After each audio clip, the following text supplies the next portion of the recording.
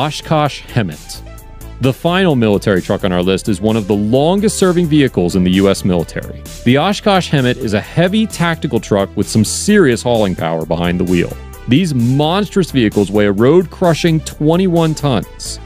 That's not bad when you consider it can deliver a payload of up to nearly 11 tons. They're used for everything from hauling cargo to fighting fires.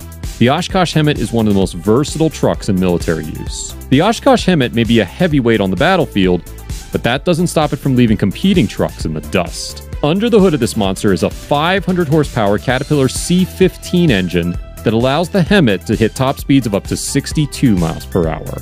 These trucks have been in production since 1981 and 40 years of battlefield use hasn't left them in the dirt.